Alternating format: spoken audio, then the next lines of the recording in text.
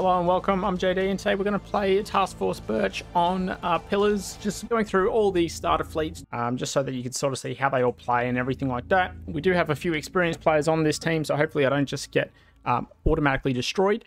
Uh, we'll see how we go because Task Force Birch is most about light cruiser guns and less about missiles and other defensive mechanisms that you would normally have.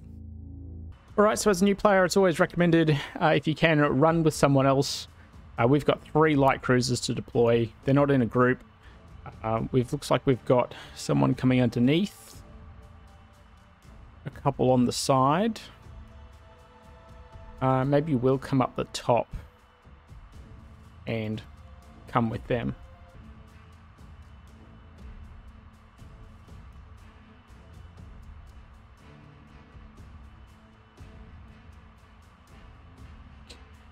Um, so I'm just wondering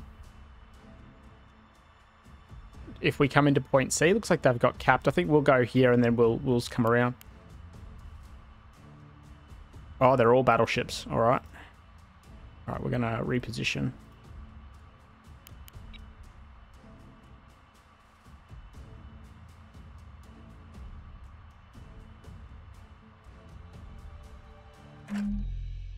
So, like all good things, it's important to uh, have that communication with your team, even if you're not on voice comms. I'm not on voice comms with these guys. Um, so, if you can have that um, even written conversation, it's just a little bit, it makes it a little bit easier. Use your message signals. We've got a video on that, so you can have a look there uh, about what they do and what they're for. We come pretty close here. Uh, just a quick look at our uh, guns, uh, just a quick look at our ships. So, uh, we have uh, 250 millimeter guns in two groups, top guns and bottom guns. We've each got a bullseye radar, then uh, just defenders and a lot of chaff. This is like 46, uh, 42 uh, chaff, so it's not a huge amount, and we don't have a huge amount of point defense either. Uh, they're all just battleships. Well, they said they were. Beams, cannons. Okay. Send traffic. Aye aye, full burn. Heading there now, Commander. So we're going to start to turn around.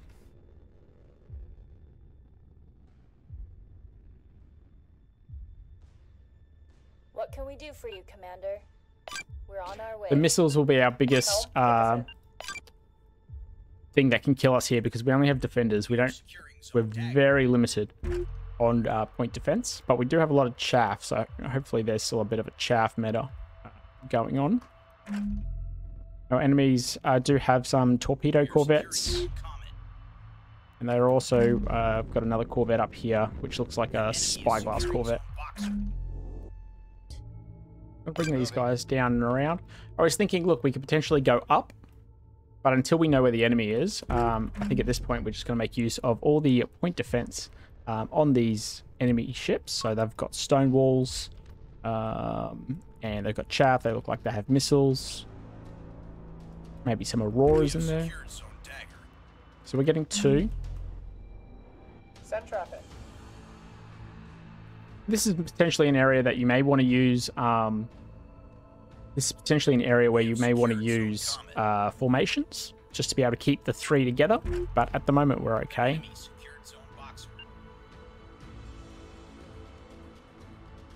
Missile detected. Understood. We're en route. Heading there now, We just want to get in and around underneath this. They're all just drifting forward. We don't have a lot of maneuverability here. So uh, we do need to be careful of that. Uh, looks like the enemy's trying to cap A very early. Uh, if we can get our into Send range. traffic.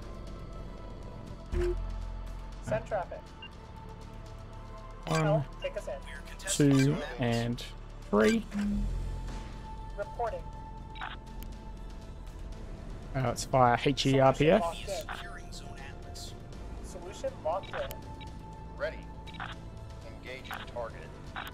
Target acquired.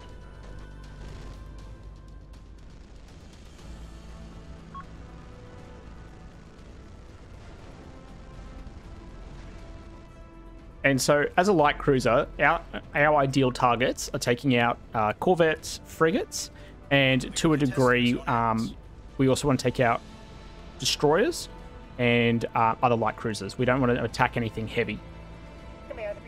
So we don't want to attack battleships. We don't want to attack heavy cruisers. It's just not our game.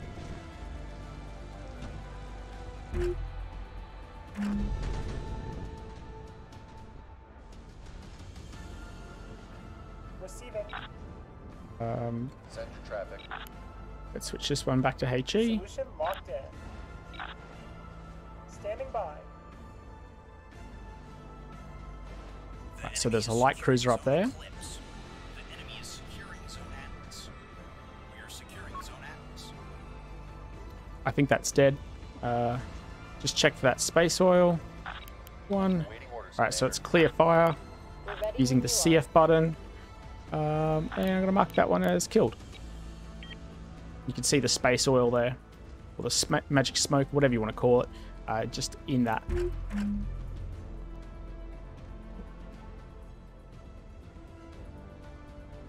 Warning. Negative. lock that up. Uh, the next thing we want to work out is what to be doing with the rest of our ships. Going to make the Ruby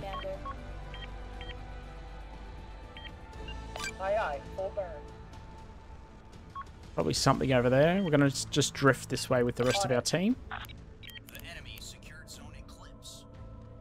We have secured Zone Atlas. They're looping something around there. We don't have any vision, unfortunately. That's okay. Incoming. Brace for. We know that there's a Vauxhall over there. And what we might do is just come up above a little bit. Aye, aye.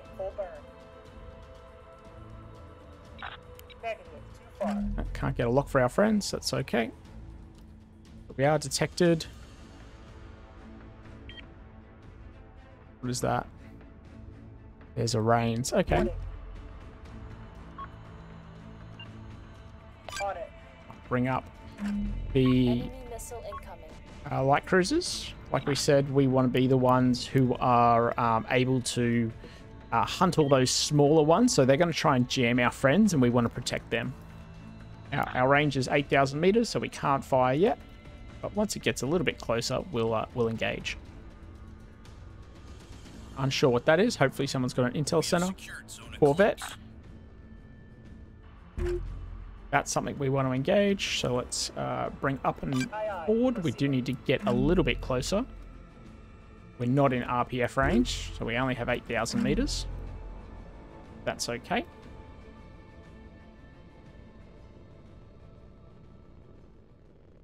Yeah, one thing we did as we made our formation, we made sure that we stayed outside the uh, 250 millimeter range. So even as we move around, we're going to stay outside. I think it's about 400. This one's 450 meters, and this one's 313. So uh, that's pretty good. What was our radar type on these? Front lines, I think, are on all these. So we have a very limited range, but that's not too bad. So we should be able to, excuse me, we should be able to uh, detect most of the larger ships pretty much at max range, but Aye, aye. Full burn. other than that, we may have some troubles finding the corvettes. So if you wanted to modify Task Force Birch, I'd probably going some be adding something like a parallax radar on one of them, um, which means you do need to drop some stuff. You could probably remove some of the chaff. You don't need that much. But, you know, all in good time. So it looks like we've got uh, two other light cruisers over there. The enemy is securing Zone Eclipse. Where's E? Okay, so E's over Aye, the aye. bottom.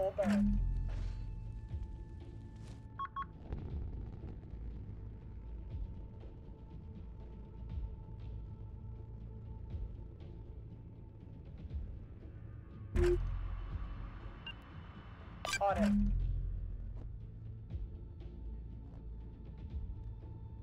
So we get around, we may be able to engage it. Something over there.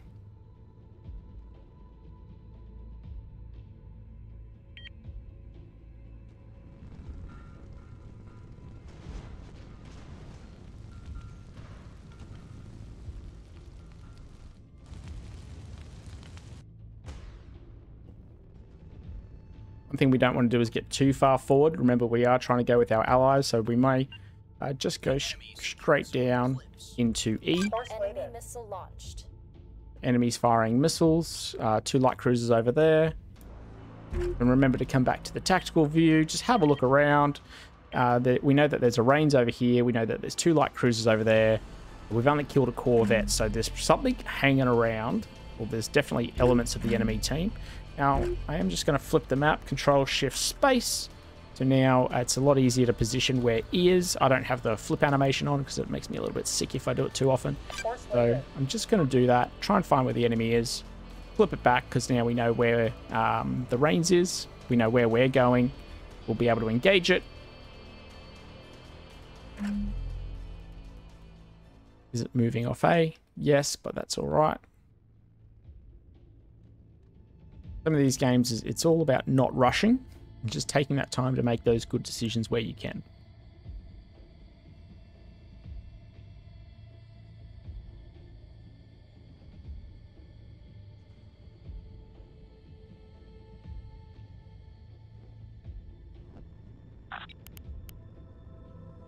Eyes on target.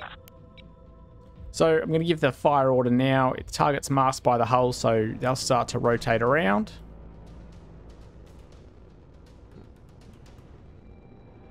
And there we go. We're opening up. The locks are on. Uh, this one can fire RPF. Yeah, this one can fire RPF. the enemy. Target acquired. Once you are using 250mm RPF, you really only want to use it against um, maximum up to the Raines class. We just want to get some damage on it. It's not going to do anything crazy, but I do want to get some hits on it just so that we can slow it down. You can see its point defense is pretty low. Uh, switch everything to Yeah, we see HE. Mace torpedoes now been able to come in. Boom, there we go. And we're going to pilot our light cruisers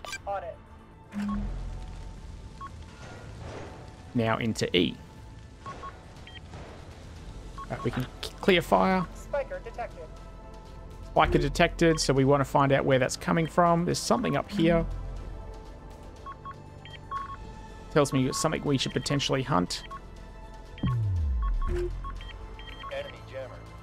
We are starting to be jammed. Just looking for that source. Vauxhall, Vauxhall. Remember, we're hunting light cruisers here. Lock whatever that is. Ooh, okay, torpedoes. Torpedoes. And a battleship as well. We don't want to take that engagement. That's not an engagement for us. Let's kill that off.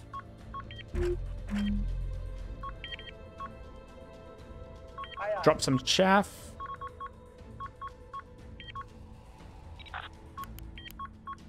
We can help by putting a lock onto this uh, Axford out here. Target locked.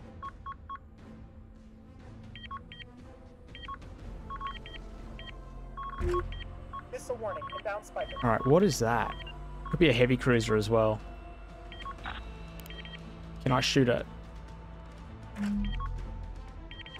Receiving. We've got him now. All right, so we're going to get... Oh, our computer's starting to lag a little bit. There's a lot of missiles coming out. Uh, we can't fire everything, so we're going to lock that one. We've got a lock over there. We've got a lock over there. We're going to get that sprinter. We can't get that one just yet. We're going to move into E. Okay, there we go. So picking our targets. Ready. Mm, we can't get that one because it's behind a rock. We don't know what's up here. I'm not sure how our team's going. Let's have a look-see. Looks like they're doing okay. They are the targets. Everyone's trying to go for them, which is okay for us.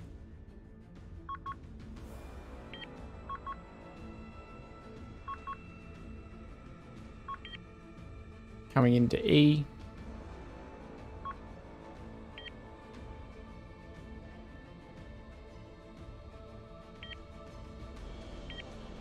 Looks like our battleship's are now firing off. So They're providing excellent mutual mutual defense between each other. They've got beams, they've got cannons.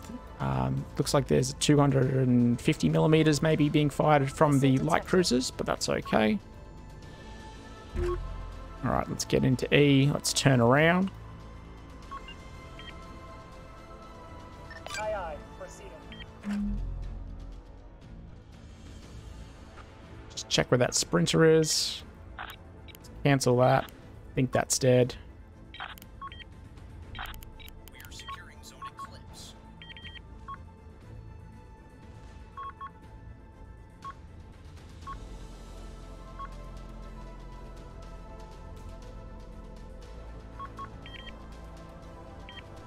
Definitely get that other sprinter. Aye, aye. Full burn. It's going to turn around. I think we'll try and come help those light cruisers. Well, if we move to B next, uh, we'll be able to help.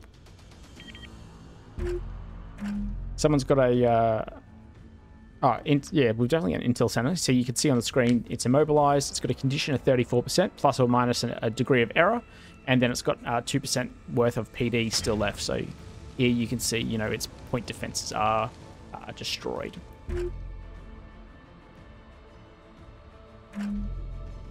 Right, here we go. Let's start firing and Lock lock.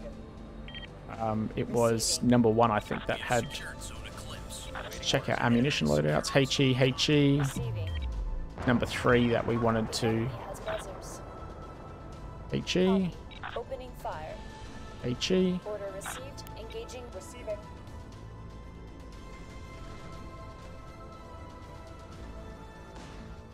Okay, that's a destroyer. We can get that one in a sec. So now that we've got it, let's bring number one forward. We want to start moving off towards uh, B. In fact, let's actually come up into the middle here. So what I want to do is take out this one and then get cap C. So we need to take those two out. Let's do that first.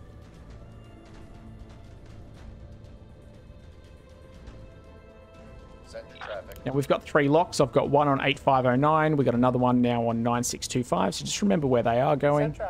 I'm going to have the bottom guns fire AP Yeah, punch a little bit more into them. Should be okay, but Secured Zone Economy. Okay, beam ships. When we come out, we want to target those. So target that. That is a much better target for us because they are more deadly to our um, warships. So the battles, uh, the battleships will want us to take out the destroyers first because beam weaponry will do more damage than the 250s. So let's uh, do that. Whoops, make it a priority. Uh, tell them what I'm doing. Reporting. Receiving. Aye, aye. Proceeding. We want to come out, Aye, but we don't want to get too far in. There's another destroyer, but I think it's... Um... Right, that's what we're going for. Uh, we could probably move these guys continually this way. Uh, we are within the 8,000 meters, so that's good. That Vauxhall there should die to one of the heavy cruisers shortly. There's a destroyer up there and another damage Vauxhall. So we're doing pretty well. We haven't been targeted because our friends are going for um, these other ships. Okay, Sprinter. Okay, we can't get that one, unfortunately. It's too far away. Uh, this destroyer's had its beam and torps destroyed. Oops, sorry, I'm jumping around a little bit here.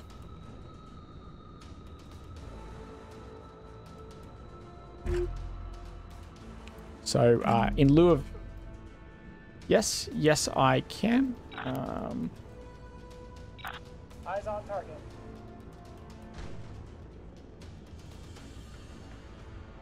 if your teammates ask you to do something...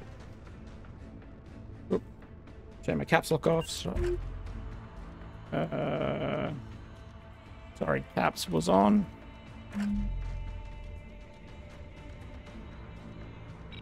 Target locked. uh, get a lock on the Vauxhall. now it's shooting into we're shooting into its engine, so that is a definitely a good spot for us to be firing at. And I think we're actually going to come up because the sprinters are up here, the keystones are up here. We've got three points. I don't need to go take myself out of the fight to the B. Uh, our friends telling us that they're capping B. Excellent, so that's good. So you don't have to do everything. Remember, we're playing as a team. You know, um, wherever that sprinter is, I definitely do want to be able to take it out. What can we do for you, Commander? Uh, fire HERPF, Initiating attack. firing Target HERPF. Ready. That to us is also a high priority target.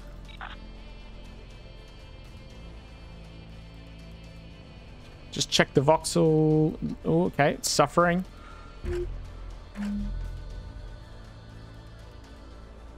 Uh, all right, we're going for this one. We've got it now. Attempting target lock. Send your traffic. Engaging.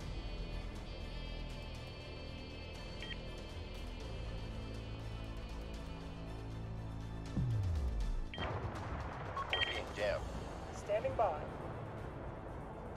I don't think that Vauxhall's going to come back, but we'll we'll see. So, uh, fire, fire. Receiving. That one to also fire. So one and two are firing there. Awaiting orders, Commander. Three's firing on the sprinter. The enemy secured Understood. zone dagger. Locking on. Initiating attack. Just get it killed. Copy. Opening fire. Just needs to come on board. Alright, Ready. So remember we've got three locks. So with all this, you just got to remember who's locking who. Uh, we are ahead. I do want to get rid of the um, sprinter just because in case it comes back, but it looks like it's pretty much toast. Send traffic. Okay, it is. I will now Expired. switch Copy. number Opening three. Alright, so now everyone can just fire directly at 8509. This one looks dead as well.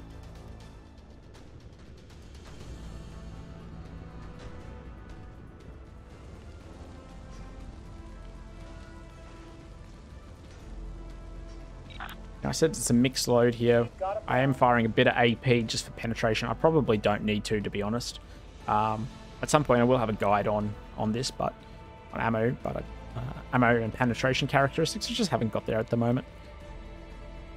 So I think we're sort of starting to wrap up here. I, if I was to give you uh, my thoughts, one of the things that we did was we coordinated with our team. We provide the locks for our uh, larger ships, and we moved to not only take objectives, but we targeted uh, a very subs, uh, very select. Um, okay, that's killed. Sorry. Uh, we, we targeted very select ships, so we wanted to make sure that we were targeting things that battleships um, weren't the best at. So um, we wanted the ability to take out the scouts, uh, the frigates that were providing E-War, and then when we saw those destroyers come on the scene and uh, we saw the uh, beams coming out, that was the largest threat to our, our friends' battleships. So we wanted to make sure that we could take them out uh, without having to uh, let them worry. Uh, they were also engaging them with their own beams and their own weapon systems, but we needed to also be there to support them. So uh, that's what we did, and it worked out. You know, we were able to uh, do a bit of assistance there. Um, we were able to do a bit of assistance there by taking them out, or at least putting some additional firepower on it, as we are able to do a fair amount of fire here. Now, we did if we were targeted with more E-War and more missiles, we could have had a different game. But um, if you play with your fleet uh, to your fleet strength and to your objective, you should be able to win. Uh, we did death ball a bit there with the three battleships. It's not normally something that would occur, um, but you know you've these are sometimes the games that you have to play, and you have to make those decisions based on what's occurring in the moment. So if we have a look, um, team we're on, we're on team one. Um, battleships were taking all the damage with two, two of the um, corvettes that were simply there to cap points. So that was a, good build here, I think, just because you know something fast um, is very important to be able to capture those points. We see here that uh, on the other team, one, two, three. So we had three um, corvettes that were no doubt providing vision, providing locks, and then two light cruisers that were able to do a, a fair amount of attack. Um, that would have been able to, you know, clean up scouts on the other side. So they were running around, capping everything. Battleships aren't good at maneuvering around and finding those angles of fire. And if they had split up, they could have been a little bit more harder to kill. So um, by doing that, you know, take and taking out those. Um, so sorry, by pro noob, by pro noob taking on uh, two corvettes allowed us maneuverability, and then as light cruisers, we took out the enemy's maneuverability. Uh, we didn't take a lot of damage because we weren't really targeted. Uh, in fact, yeah, we took like barely any damage. What else do we have? Uh, Babushka, again, most battleship builds usually bring at least a battleship and at least a scout or something to cap with. So, and then a frigate as well. So, um, for like, I think, I assume that's electronic warfare. We didn't have a look at the other team. Uh, if we have a look at the cheese, one, two, three. We had a look at the cheese bandit, two two destroyers uh, with beams and I think uh, torpedoes, and then uh, an early uh, Ewar frigate, frigate that we destroyed uh, fairly early on. Um, the Pug Storm was loaded to the gills by the looks of it with um, torpedoes, and it did a fair amount of damage, but all in one ship. So you know it's a trade-off here. It's not there's nothing wrong with it. It's one of those ones where you have to make that trade-off. Do I take a lot of additional uh, firepower, or do I split my fleet, fleets up? You know, you can, can go anyway with the fleet builds, and that's one of the, the key aspects of this game. Uh, and I can't remember what the uh, Tachyon brought, to be honest. Uh, I'll have to go back and have a look at that uh, when I edit this. Alright, so that's how to play Task Force Birch. I hope you enjoyed this video. I'll keep trying to play through all the uh, various different starter fleets, and so you can see how they play and some of my thoughts around them. All right, thanks for watching and take care.